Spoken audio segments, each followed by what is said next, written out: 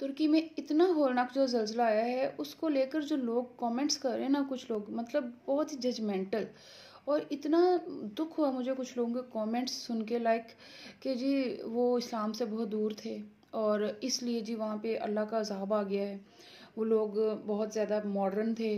मतलब इस तरह के आप जजमेंटल होकर कमेंट्स पास करें तो जो लोग ऐसे कमेंट्स पास कर ना, वो सबसे पहले तो अस्तफ़ार पढ़ें क्योंकि हम सब इतने गुनागार हैं कि अल्लाह ताला अगर हमारे गुनाहों को देखें तो हमें खाने को कुछ ना मिले, हमें इससे बड़े अजाब आएँ। तो ये अल्लाह का करम है कि हम लोग चल फिर रहे हैं, वो हमें अता कर रहे हैं हमारे गुनाहों के बावजूद। तो हमें इस पर अल्लाह का शुक्र अदा करना चाहिए और अगर किसी पे ऐसी आजमाइश आती है तो हमें इस तरह के कमेंट्स बिल्कुल नहीं देने चाहिए। इससे अल्लाह ताला नाराज़ होते हैं और ये बहुत ही, बहुत ज़्यादा गलत और ख़तरनाक बात है कि हम जब जब ऐसे कमेंट्स करते हैं। जी, वो लोग बहुत मॉडर्न थे, बहुत ज़्यादा अल्लाह का अजाब आ गया है उन पर आप यकीन करें, जितनी टर्की के जो जल्जले की वीडियोस हैं, आप लोग देखें, मैंने एक वीडियो देखी, मैं बयान नहीं कर सकती। एक बच्चा बिल्डिंग में फंसा हुआ है, काफ़ी ऊँची बिल्डिंग पे। और नीचे उसका बाप बेबस खड़ा है और वो और कुछ नहीं कर सकता, अपने बच्चे को कलमा शहादत पढ़ा रहा है। और वो बच्चा कलमा शहादत पढ़ रहा है।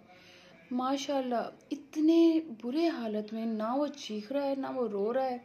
वो रो भी रहा है दर्द से, मगर वो जो बाप पढ़ रहा है ना, कलमा, वो ऊँची आवाज़ में उसको पढ़ा रहा है और वो बच्चा रिपीट कर रहा है। मतलब दैट इज़ रियली सरप्राइजिंग कि हम लोग जब हम पे मुसीबत आती है, हम धाड़ धाड़ करते हैं, रोते हैं, हम लोग ऐसे हो जाते हैं कि जैसे हम पे सिर्फ़ क्यामत टूट पड़ी है और हम लोग चीखते चिल्लाते हैं और ना वो हाय है कि उन्होंने वो कलमा, कुछ लोग तो बल्कि तलावत कर रहे हैं जब उन, जब उनको मलबे के नीचे से निकाला गया। तो प्लीज़ जजमेंटल नहीं होते, ऐसी बातें नहीं करते अस्तफ़ार करें, तोबा इस्तफ़ार करें।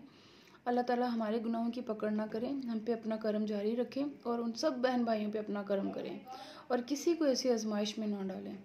तो ये अल्लाह ताला से दुआ है और अल्लाह ताला हमें जो है ना वो ऐसी मुश्किल और आजमाइशों से बचाए। आमीन।